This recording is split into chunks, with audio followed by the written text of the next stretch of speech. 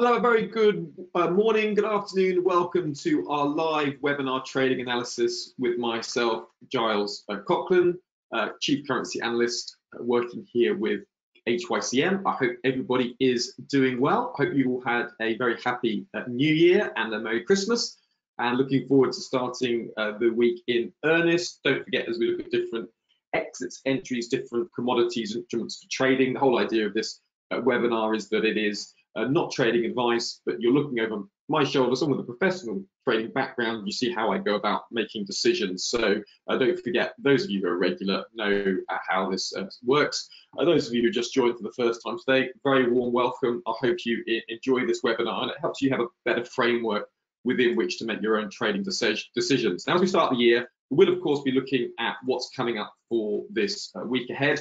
Uh, we didn't have a schedule on the terminal uh, because of the fact that we had Christmas and New Year. But a couple of things I do want to draw our attention to alongside the actual calendar is the US dollar. We're next to the US dollar as well as strong seasonals uh, that we have for uh, platinum. So I just want to draw our attention uh, to that. It's definitely a couple of uh, trades that look like they're uh, well worth looking at. Very, very warm welcome to Gary Kingsley. Great to have you. Happy New Year to you both. Mark, Milad, Jaban, Alejandro, uh, great to have you as well. Uh, very warm welcome. So without further ado, I'll get stuck straight into uh, the webinar. I'm just going to turn over to my other screens and we can have a look at what's ahead. Now, the market has opened up with a, a risk on till. We can see uh, that equity futures markets have been moving broadly higher. We'll take a look at them at the minute. Uh, commodities have been just pushing a little bit higher as well. Don't forget, crude complex will be eyeing OPEC's decision uh, tomorrow, uh, and uh, markets will be seeing whether they bring on the, that extra 400,000 uh, barrels per day. So that's uh, likely to see some volatility in the oil market from tomorrow. Don't forget, today is a UK bank holiday. So as a consequence, we are see, have seen a quiet start the European session with London being away. So the first uh, day of the week is expected to be a quiet trading day and tomorrow uh, trading uh, proper should begin in earnest. So it's a low volatility day. But of course, remember, one of the flip sides of a low volatility, volatility day is it can go one of two ways. You can either have no moves at all or very large moves. And you may be confused about this. You might have seen, you know, uh, many times people say, well, it's a low volatility day uh, don't expect uh, much to move from the markets, then you've suddenly seen, you know, 200, 300 point moves. Uh, and you think, well, how does that work? Well, what happens is when there's very low volatility, it means that there is um, an absence of large orders in the market. So that means if significant news does break over that holiday period, you can see some huge moves because the normal, you know, cluster of buy and sell orders, which obviously slow down price, aren't there. So price, as it were, zips through these large vacuums looking for buy and sell orders to, uh, to fill. And that's why when you have low volatile uh, markets, you can sometimes have large ranges uh, due to the uh, reduced number of orders in the market. So just remember that, that caveat. So perversely, when you have a, low uh, volatility day, you can either see very narrow ranges or outsized moves. So uh, you can get some good opportunities in markets like this if significant breaking news uh, comes across. You can see that the Asia Pac, um, quite modest, uh, balanced uh, view, the Nikkei slightly uh, lower, Shanghai Composite a little bit higher, um, uh, Nifty a little bit higher, ASX 200, that's the Australian main index, is down lower. We can see the yen's a little touch higher, franc a touch higher, um, Aussie a little bit weaker and Canadian dollar a little bit stronger. So a mixed uh, picture in the FX uh, space. The major sort of data point we have today we will be looking at is the US uh, PMI data, and we will be looking in at the US dollar in a little bit more detail uh, later on during the session. So you can just see here the dollar. Now the dollar's of interest right now because we have been seeing that dollar strength coming into the end of last year. Now remember the reasons for the dollar strength the market was increasingly expecting the Federal Reserve to uh, become more hawkish. And if you remember, the trigger for that hawkish expectation was rising inflation. So they're the two narratives that are likely to grip both the US dollar and markets more generally, which is growth and inflation. So will growth slow down from 2021's sort of large sort of bounce back after on, on COVID-19 uh, vaccine relief? Yes, we're dealing with the Omicron surge at the moment, but most markets are pretty uh, confident in the way that they're trading that the Omicron variant will be absorbed by uh, most major economies without the need for, for, major lockdowns, with the exception, of course, of China, which we will cover as that is an exception that's worth uh, looking at, could result in some uh, significant moves there. Uh, we're also look, looking at rising inflation. Central banks around the world are increasingly becoming concerned with inflation. The Fed uh, sort of moving away from their transitory narrative about inflation. Uh, Bank of Canada moving away from their uh, temporary inflation narrative. Bank of England with a surprise rate hike at the end of last year by 15 basis points. Uh, but you have the ECB still maintaining the uh, that inflation is, is transitory, and uh, the RBA and the RBNZ both sort of maintaining that inflation is transitory narrative. So a mixed picture amongst all the central banks, but taken as a whole, there's a general rising concern uh, that inflation is an ongoing risk. So those two narratives are likely to be moving markets and influencing central policy from central banks. So they're the sort of key issues. COVID-19, if we just zoom out, uh, we can remind ourselves that yes, cases are surging, particularly here in the UK, but hospitalizations and death remain relatively calm. So as long as hospitalizations and death remain relatively low and countries won't have to lock, lock down, from an economic perspective, it means growth can continue.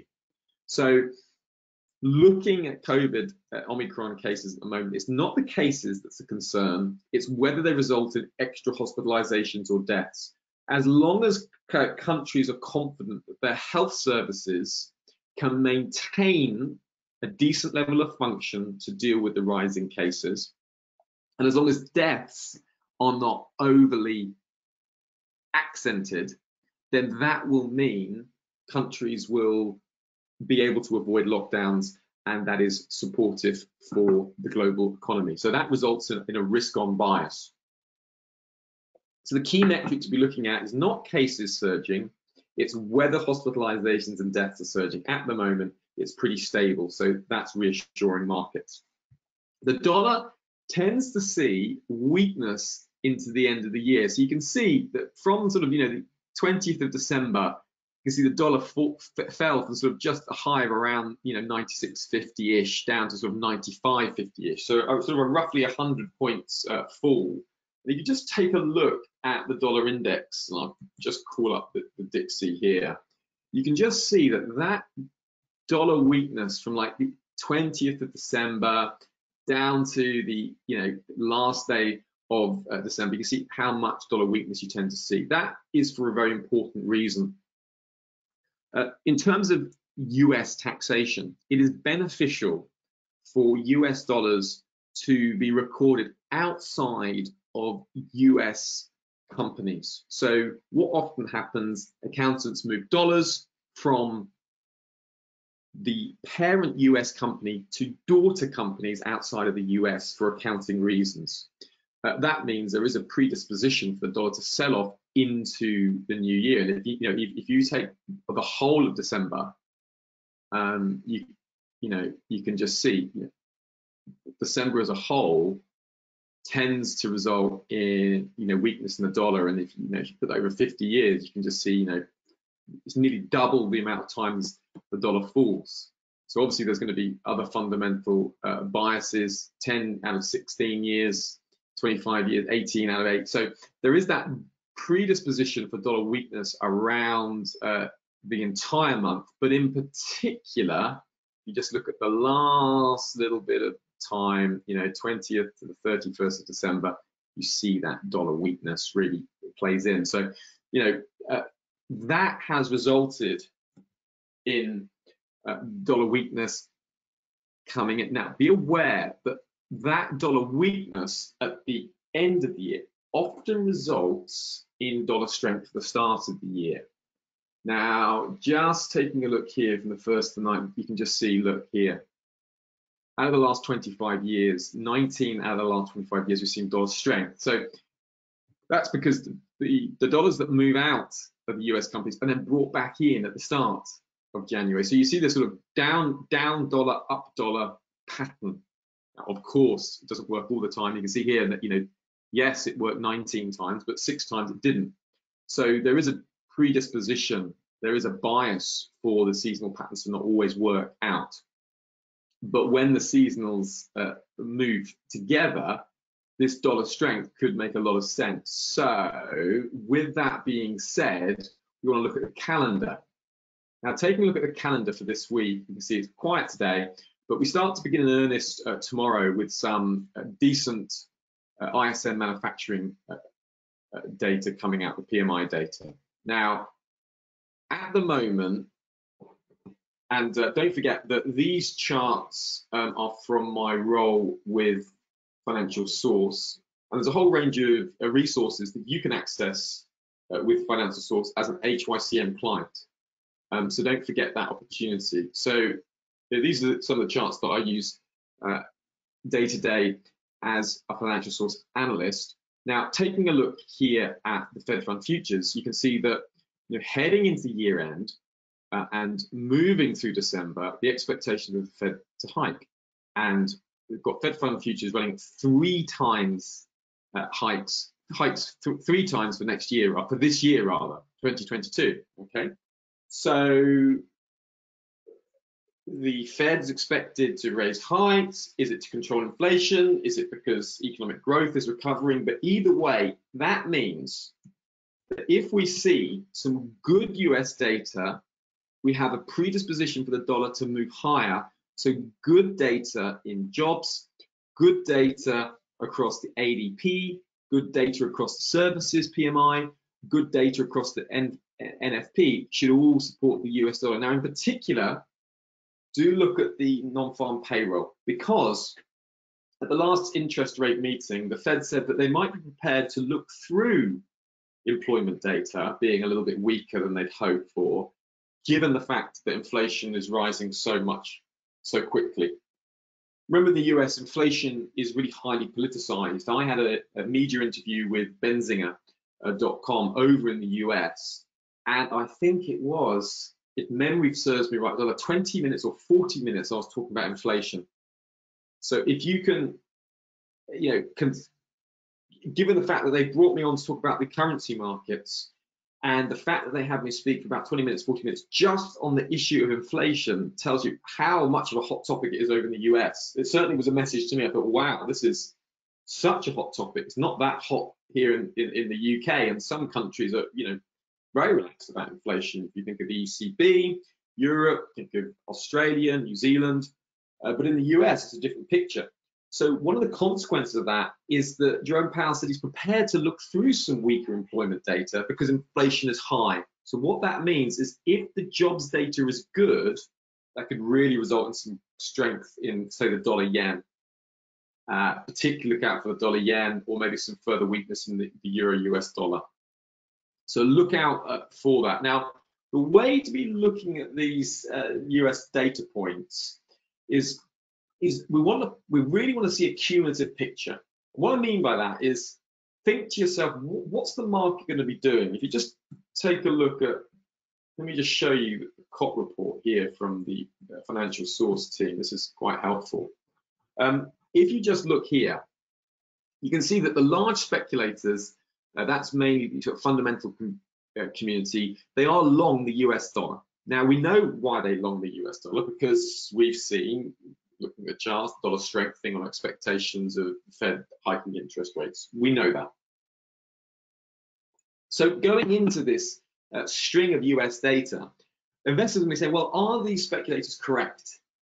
Uh, if the, we have a string of negative uh, data prints. So the manufacturing PMI comes out weak, ADP jobs data is weak, the services data is weak, NFP is weak. Then markets going to think, well, actually, maybe the Fed won't be able to raise interest rates three times. Okay, so we'll start to see potentially US dollar weakness. So just look out, the market is positioning for dollar strength. Now, remember the US dollar smile theory? Uh, for those of you who are unfamiliar with it, just uh, show you that from my uh, website. Here's my blog.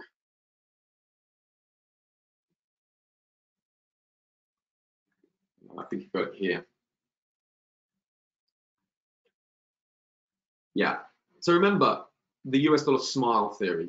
The, the US dollar tends to grow when risk is off, so low risk appetite. If markets are scared, you see dollar strength. Then you see, also see dollar strength if the Fed is expected to be hawkish. And at the moment, we've seen dollar strength on a hawkish Fed. Okay. Now, you tend to see dollar weakness if the Fed is dovish. So if we see negative uh, data prints coming out, if US growth starts slowing, if there's you know skepticism about global recession. So in other words, if the rest of the world starts to look better than doing than the US, then we can see some US dollar weakness. So going into these data points, the market is positioned for a more hawkish Fed. Okay.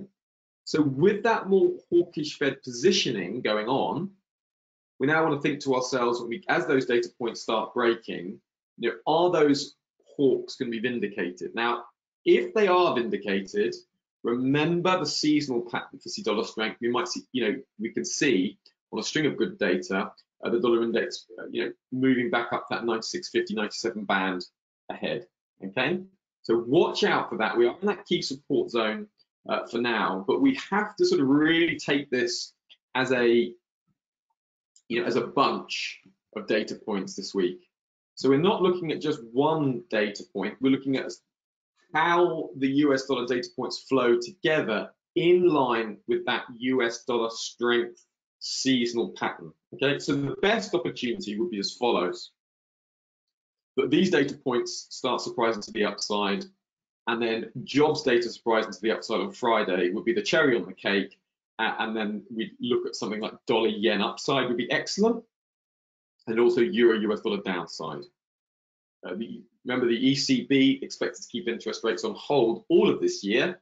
Fed expected to raise interest rates three times. So that's what we'll be looking at uh, in terms of uh, the calendar. That's the major event. Now, OPEC are expected to announce their production uh, level change of 400,000 barrels per day. So if they uh, cut more than the market's expecting, and they don't have their production increase, expect that to be supportive for oil. If they uh, uh, bring more barrels back into production, that would be negative for oil. The other currency to be really, country to be really aware of is China. Now, China is responding very differently to COVID-19 than the rest of the world. Now, most other major countries are trying to manage COVID Omicron variant via vaccination, particularly here in the UK. We've had a huge drive before Christmas to get as many people boosted. That means have their third vaccination as quickly as possible. China, the emphasis is more on COVID free policy. So the emphasis is that the nation as a whole has very short, sharp lockdowns that result in no COVID in the community. That's been much harder with Omicron. Omicron is considerably more transmissible. If memory serves me right, I think up to four times more transmissible than the already more transmissible Delta variant. So China may really struggle. And if China maintain their zero COVID policy and you start getting all these Omicron you know, clusters breaking out, then we're going to have all these major cities locking down in China, and that's going to impact supply chain issues. So one of the key risks for stocks at the moment, and you know, if you take a look at stocks, uh, you can just see. Let's just see where is it.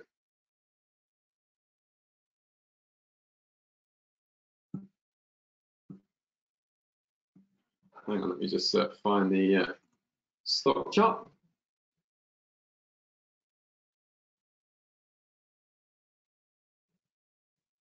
Oh, bear with me one moment, sorry about this.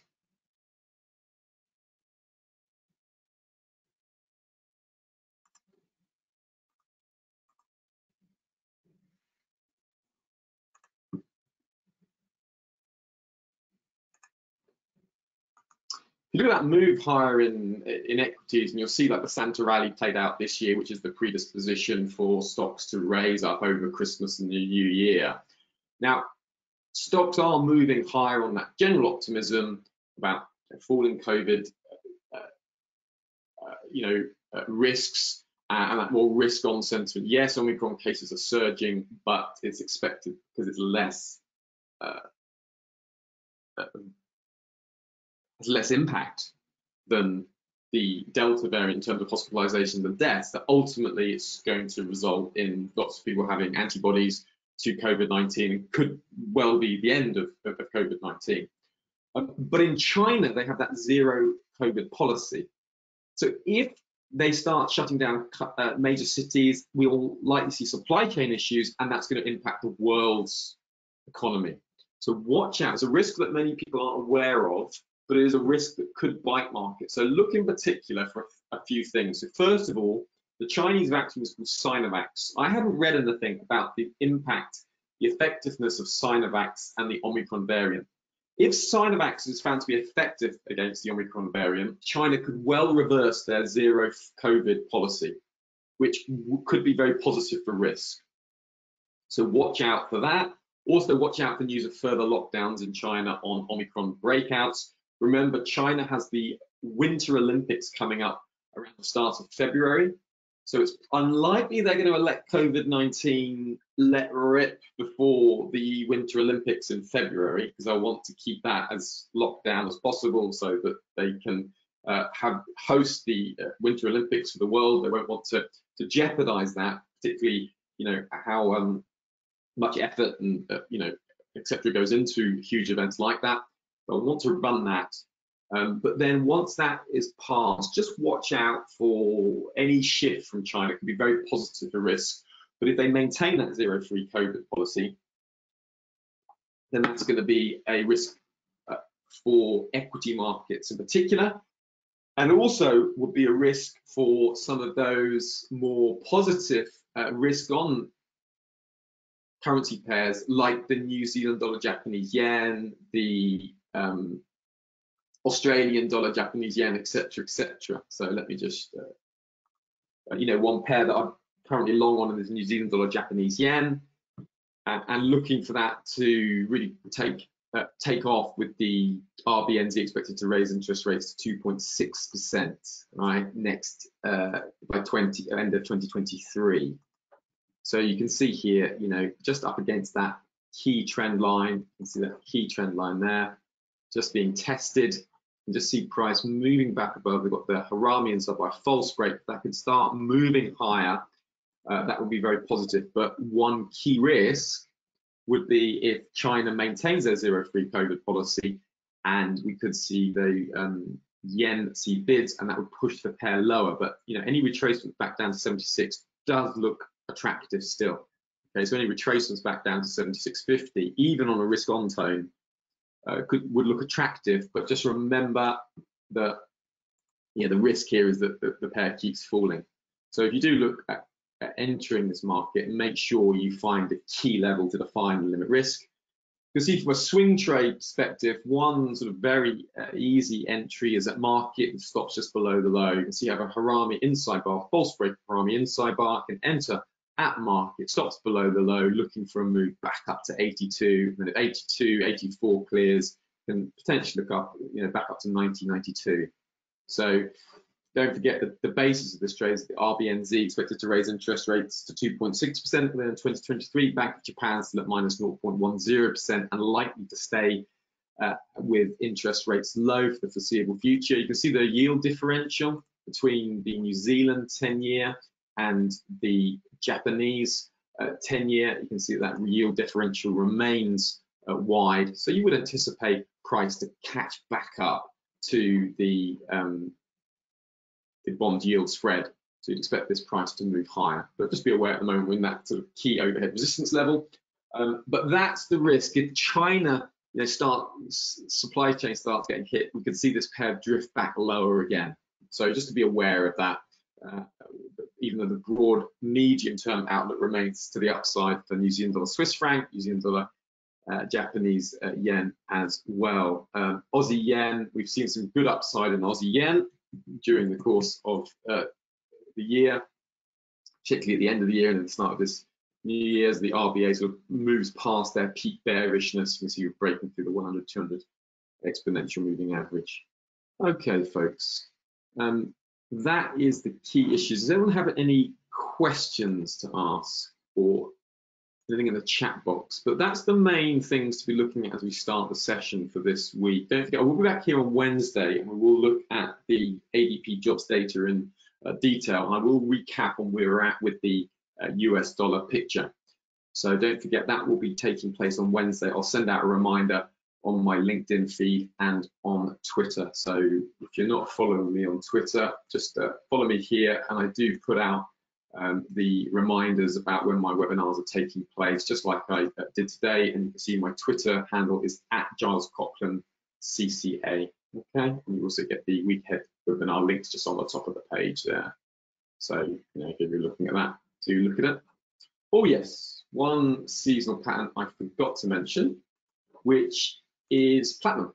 Now, platinum has a very, very strong start of the year, and there's a good reason for it. Now, if you look at platinum from, you know, today through to about the middle of Feb, let's take it roughly, look at the strength in platinum. You know, the last 25 years, it's only lost value uh, three times out of those 25 years. Maximum gain has been over 33.39%. Now, that is due to some strong, strong seasonal uh, patterns that take place in platinum. Now that is due to purchase managers making orders for platinum at the start of the year. So a lot of this is to do with business planning.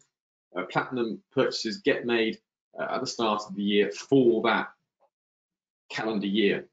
Uh, and purchase managers, platinum, you know, they're not speculating in the markets. They either don't know or don't care. They just want to make their orders for industrial uh, usage. So platinum does tend to see strong gains around the start of the year. It's a strong seasonal pattern. Okay, folks. Hope that's been helpful.